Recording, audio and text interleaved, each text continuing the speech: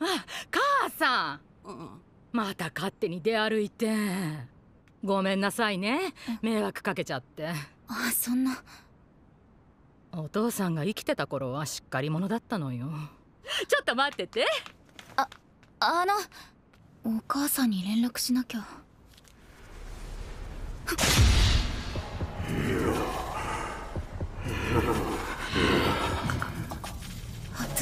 どどうしよういいよね。これはインターネット？おばあちゃん。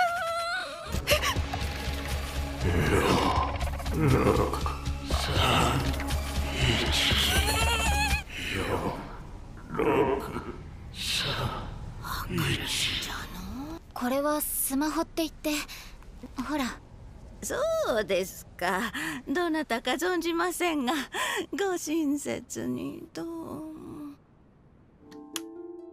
ちょっと何電気もつけないで。えそれお父さんからの？